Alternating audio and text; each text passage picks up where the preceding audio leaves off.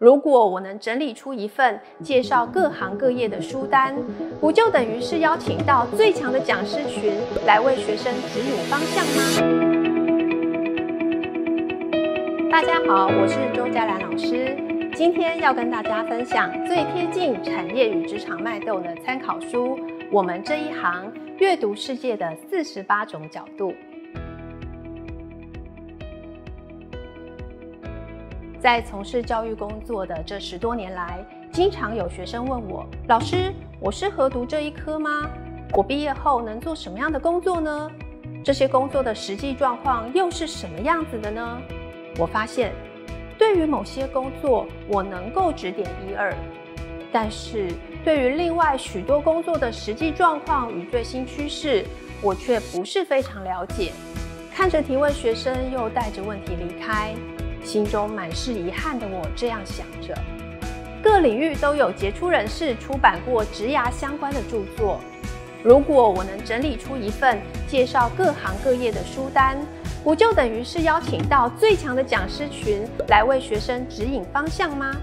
在看到近几年的统测试题，我发现阅读测验的取材明显朝着热门社会议题、产业职场动态的方向靠近。而民国一百一十年十月公告的统测素养导向及实务导向题型示例中，更明确指出，国文科朝向部分考题内容以产业或职场背景评量阅读及逻辑等应用延伸思考的能力。因此，在教学现场，对于阅读产业与职场的需求越来越强烈。基于这样的原因，我着手规划了《我们这一行》这本书，希望这不只是一本最贴近考题趋势的参考书，也是最能帮助学生迅速了解各行各业的阅读指引。把阅读产业与职场和统测国文试题仿题相结合，是我们这一行最大的特色，也是目前市面上绝无仅有的尝试。在搜集资料的过程中，花费的心力比一般参考书多出非常多。对身为国文老师的我来说，这是一次跨出阅读舒适圈的大挑战。要从五百多本各产业书籍、近千篇文章中挑选出既符合学生程度，又能扣紧产业脉动，还可以设计为考题的教材，真的很不容易。但是我努力做到。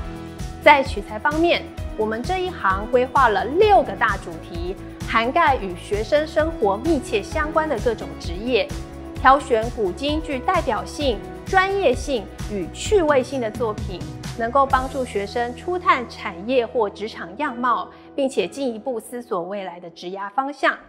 值得一提的是，这本书的古典选文能让学生看见古人的特殊专长。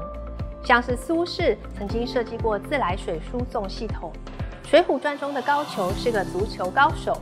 《红楼梦》的作者曹雪芹是手艺精湛的风筝工艺师。这些阅读材料让古人与我们更亲近了。在试题方面，这本书的图表与素养题型非常多元，不但融入各行业热门议题，而且仿照近三年统测考题编写题目。绝对会让大家有耳目一新的感受。不但如此，我还尽量将课纲推荐古文融入选文或选项中，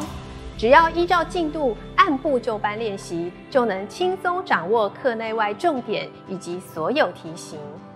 此外，本书每个主题都附有延伸阅读书单，老师们可以作为补充资料或是选修课程的教材。也可以提供学生作为职涯探索的阅读指南。拿到这本书的第一眼，就对它的版式设计印象非常深刻。每边非常用心的设计了伴读角色小猫熊，并且搭配选文内容设计插图和说明，还美化了图表题的视觉感受，不但使题目更接近学生的生活情境，增添趣味性。也能加强他们阅读非连续文本的能力。对学生来说，这一定是非常愉快的阅读体验。